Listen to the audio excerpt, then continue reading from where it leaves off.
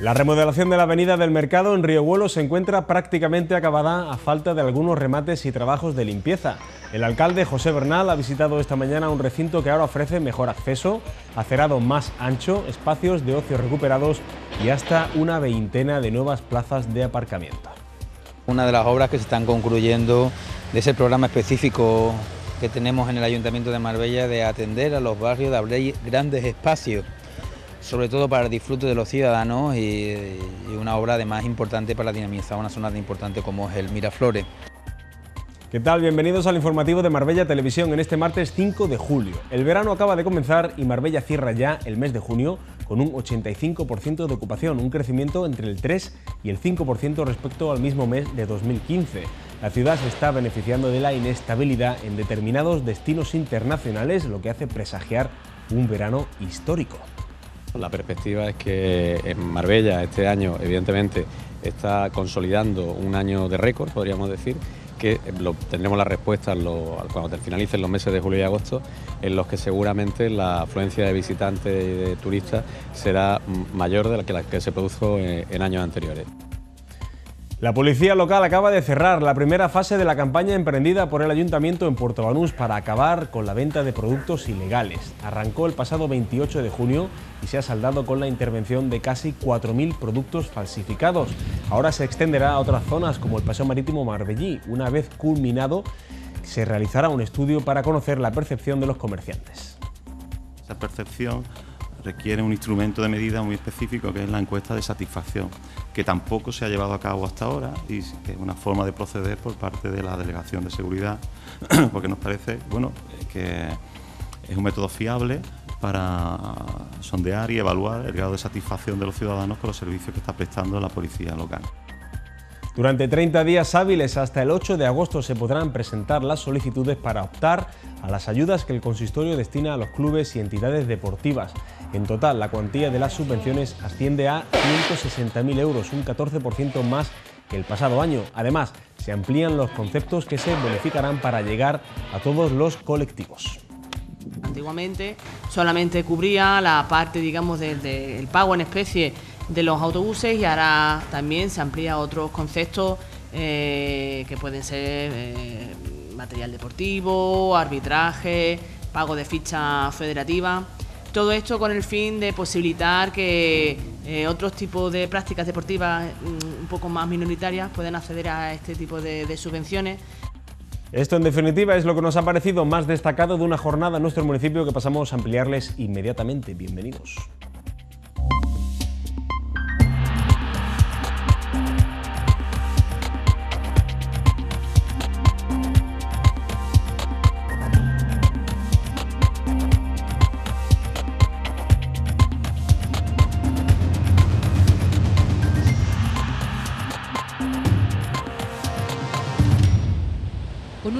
De entre el 3 y el 5% respecto al pasado año, Marbella registró un 85% de ocupación turística en el mes de junio, unas cifras más que positivas que consolidan a la ciudad como un destino de referencia internacional.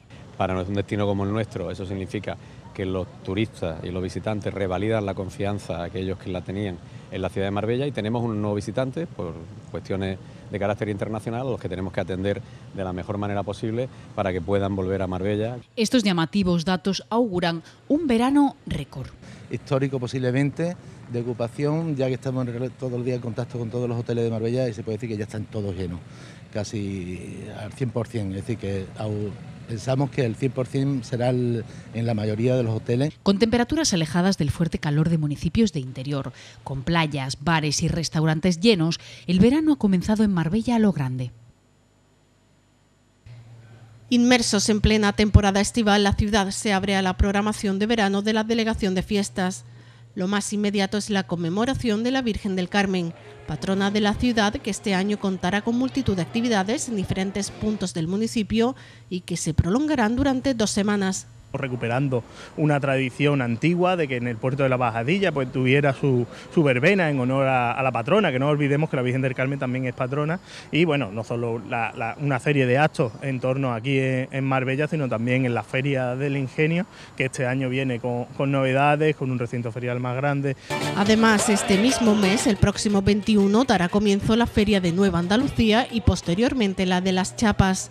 Prácticamente al mismo tiempo se sucederán las tradicionales veladas y verbenas en diferentes distritos de la ciudad.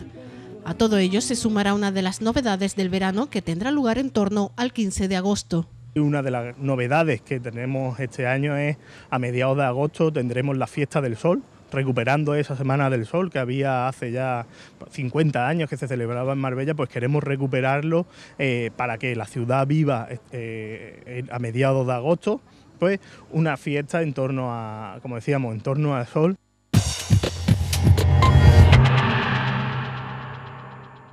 Con la ardua pretensión de erradicar la venta ilegal del municipio, el ayuntamiento estableció una campaña especial en Puerto Banús que arrancó el 28 de junio y se ha saldado con estas cifras. Se han levantado 60 actas, intervenido 3.881 objetos falsificados, dos detenciones, 70 identificaciones de personas y 18 vehículos. Ha habido tres fases, una fase inicial de investigación en la cual la gente de, de Paisano, la policía local, han ido controlando por dónde se producía la, llegada de estos vendedores y, dónde se les suministraba el material. Después una segunda fase de control y una tercera fase de, refuerzo del control. El dispositivo integrado por agentes de Paisano ha trabajado en base a estos criterios. Por un lado, evitar cualquier tipo de incidente de, orden público, cualquier desorden público, y por otro lado, de eh, mantener una presión sobre esa actividad, porque además incluso se había demandado, sabéis que se había demandado por parte de comerciantes, se había demandado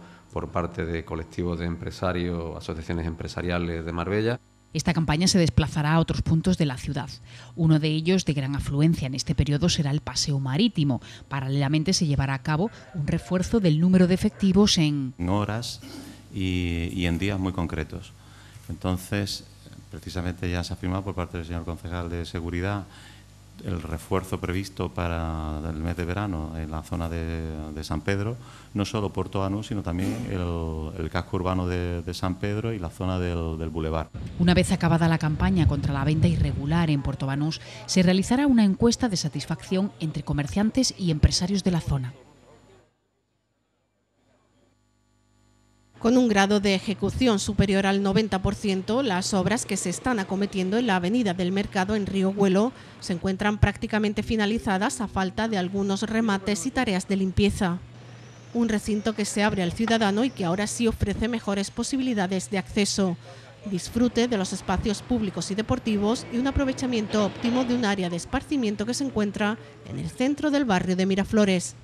Esta avenida del mercado, una avenida fundamental que hasta ahora tenía un paso muy estrecho, que obligaba a que incluso los vecinos cuando tuvieran que ir con un carrito de niños pequeños o incluso que tuvieran algún tipo de movilidad por discapacidad no pudieran ir por la acera y que además privaba del disfrute de un parque que era solo y exclusivamente un área apartada al resto del barrio y de la zona. Lo hemos integrado. Un proyecto que además ha permitido revitalizar toda esta área y conectar un gran bulevar norte-sur que se prolonga hasta la piscina de Miraflores. Mejoras de movilidad y acceso, integración de parques y zonas de arbolado y creación de una veintena de plazas de aparcamiento. Una actuación integral que ha contado con una inversión cercana a los 390.000 euros. Abrir este espacio a, la ciudad y manifestando un poco lo que es también el espíritu de, esta corporación, que es el respeto hacia los espacios verdes, eh, hacia los árboles en este caso, que se han puesto en valor y casi descubriendo una, parte que, estando en el corazón de la ciudad parecía que estaba eh, olvidada e ignorada. ¿no? Con esto hemos conseguido pues bueno, integrarlo. Unos trabajos que han transformado esta zona en la que ahora en algunos tramos de acerado se alcanza los 6 metros de anchura. Hablando de obras, las de la avenida Naveur mantienen a Marbella por sus árboles preocupada por la tala de cuatro árboles. En una reunión informativa con todos los miembros de esta plataforma, el colectivo decidió llevar a cabo acciones concretas como intervenir en el pleno del consistorio para que toda la ciudadanía le escuche y se presente una moción exigiendo al ayuntamiento protección, conservación y respeto por los árboles y zonas verdes de Marbella. Portavoces de la organización se mostraron decepcionados por el trato que el equipo de gobierno ha dado a los mencionados ejemplares en la citada vía han trabajado, han roto directamente lo que es la cera, pero pegadito al árbol. Entonces, claro, los árboles están sujetos, como sabemos perfectamente, a lo que es el, el acerado. Entonces, lógicamente es imposible que se mantengan en pie. Si ponen las máquinas pegaditos, las raíces se van a caer y lógicamente el árbol se va a caer. Por su parte, la concejala de Obras, Blanca Fernández, ya explicó que la avenida Naveul se replantará con árboles de la misma especie en condiciones de seguridad para los viandantes y vehículos que transiten por la zona, ya que los ejemplares existentes no estaban sujetos al suelo por las raíces, sino por el propio hormigón.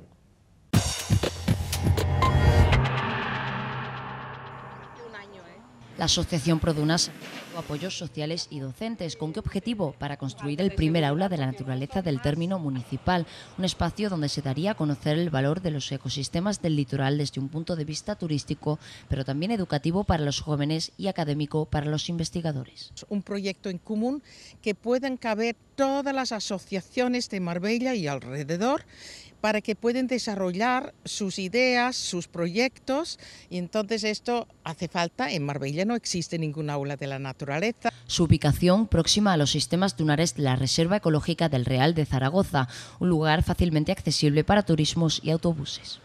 Teníamos el macro resort hotelero que nos habíamos puesto en contacto con ellos, luchando para que no estén edificando todo lo que es lo que afecta a la servidumbre de protección. Tenemos ya el sí y la disposición de preservar con nosotros todo el sistema dunar. Un centro que pretende convertirse, según la Asociación Produnas, en una de las cinco estrellas de la excelencia de Marbella. Vehículos de alta gama y la mejor gastronomía se reúnen aquí en Puerto Banús, en la cuarta edición de la selección gastronómica Porsche. Lujo, alta gastronomía y Marbella, tres ingredientes que marinan a la perfección y que se vuelven a encontrar en una nueva edición, la cuarta de Porsche Gourmet. ¿En qué consiste? Dirigido a los clientes de la firma automovilística, ellos serán los encargados de elegir entre 10 de los mejores establecimientos de Marbella los platos y tapas más destacados, tanto tradicionales como innovadores. Crear una fusión entre Porsche y el cliente gourmet que, va a ir a esos restaurantes y vamos a intentar mezclar los clientes con el placer de la comida que tenemos aquí en Marbella. Tenemos que agradecer que se hagan este tipo de iniciativas y sobre todo que se repitan porque llenan el verano de Marbella de ese tipo de actividades que los que viven aquí y los que nos visitan, lo voy a repetir, demandan y necesitan.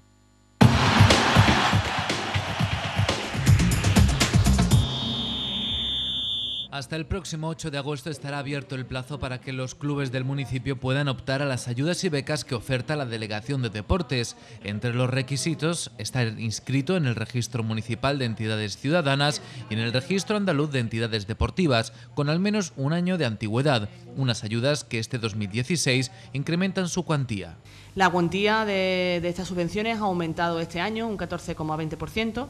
Eh, respecto al año anterior, eh, una cuantía de 160.000 euros eh, y que se aumenta además de, ser un aumento en cantidades, digamos, dinerarias, 20.000 euros respecto al año pasado, también aumenta en cuanto a la en cuanto a los conceptos que son eh, subvencionables. La idea es integrar en el programa de ayudas conceptos que anteriormente quedaban excluidos para que todos los clubes puedan tener las mismas oportunidades, también aquellos de disciplinas deportivas minoritarias. La cuantía máxima de, la subvención eh, no podrá eh, superar un 60% de lo que es la, actividad subvencionable y entre los gastos subvencionables, pues por ejemplo, gastos de viajes y dietas, gastos de adquisición de ropa deportiva, eh, facturas por los servicios profesionales prestados por jugadores y entrenadores, gastos federativos y arbitraje. Entre los criterios que se puntuarán, la estructura de la sociedad deportiva, los años federados o la participación en competiciones federadas. Los interesados deberán presentar la solicitud en el registro de la Delegación de Deportes en la calle Caballeros. Además, la Delegación de Deportes abre este miércoles el plazo para la presentación de solicitudes de las actividades ofertadas dentro del programa de invierno.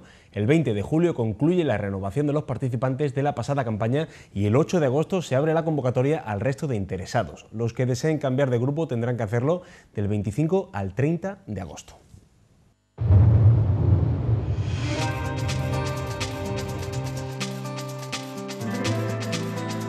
En la provincia este miércoles cielos poco nubosos o despejados con nubosidad de evolución en las sierras, temperaturas mínimas sin cambios y máximas en ascenso, vientos flojos variables con brisas en la costa. En Marbella cielos despejados, ascenso las temperaturas y vientos flojos variables.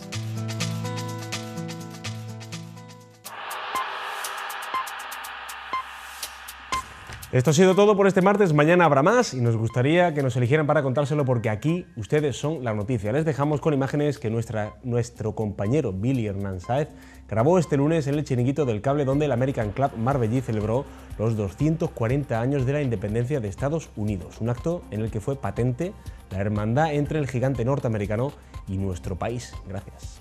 Es una ocasión muy especial y algo muy muy eh, ilusionado por todo el mundo.